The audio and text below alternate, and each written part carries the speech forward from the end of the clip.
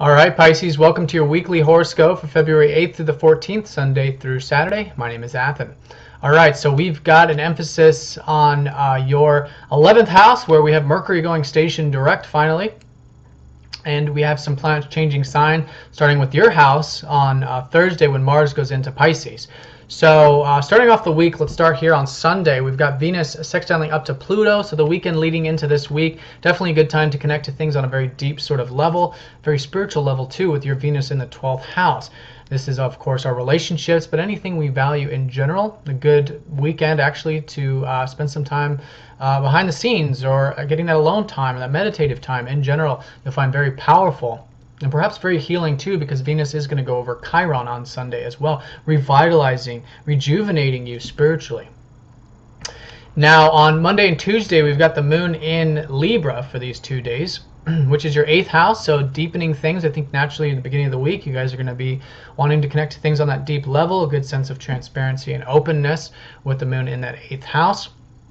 Then on Wednesday, Mercury goes station direct in that 11th. So whatever you guys have been reflecting on or thinking about or reworking in regards to groups, your community, uh, anything that uh, is about you connecting to your work on a deeper level, the enjoyment that you get from your work, being of service, basically.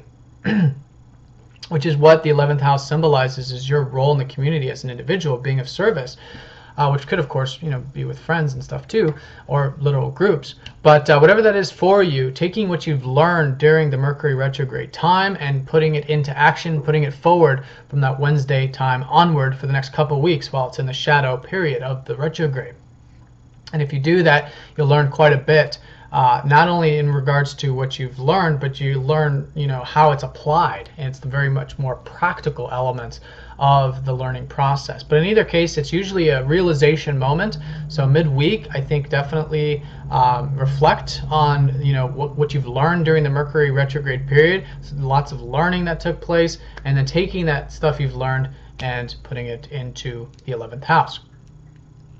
Now on Wednesday and Thursday we do have the moon in Scorpio, so there is this uh, disciplined approach you guys have been taking with your life path. Saturn's in your ninth house.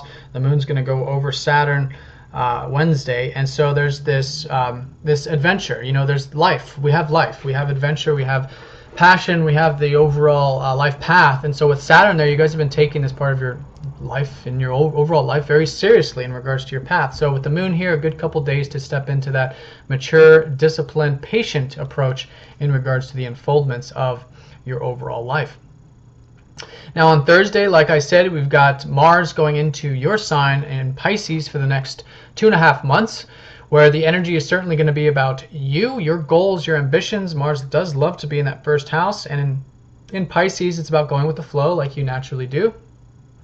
Tapping into your intuition also but uh, putting energy towards your goals and your ambitions. This is starting the uh, a shifting point from the 12th house into the first house, where you guys have had Venus and Mars in your 12th of perhaps resting up, enjoying the subtle elements of life. Still an emphasis on that for the next 30 days because we're going to have the Sun in that 12th, but starting to put energy towards your goals, your ambitions, etc while perhaps you know getting that in, intuitive element going on and listening to your dream space continuously and uh, you know getting plenty of rest and relaxation still motivational time and it starts with mars then venus a little bit later then the sun in about 30 days.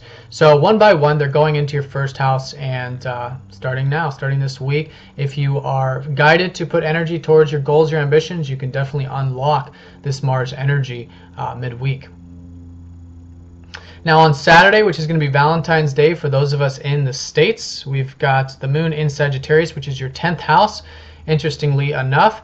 So um, it, in either case, it's expansive for all of us, expansive energy of Sagittarius. And so for you, it could deal with something on the public level. If you guys are maybe feeling like you might want to get some work done over the weekend, I don't know if that's really, uh, you know, vibing with the Valentine's energy, but um, there's a flow there with your 10th house of work, career, and anything on a public level but it could just be that you have a very good be just a good time to see your overall life in general and uh, step into that uh, you know long-term commitment in many ways too with the 10th house uh, maybe in regards to relationships but just in general having that good sense of maturity and overall perspective of your overall life All right, Pisces, well, hope you have a great week. Thank you again for all of your support. If you'd like a personal reading, you can check the link down below for the YouTube discount, and I will talk to you next time. Take care.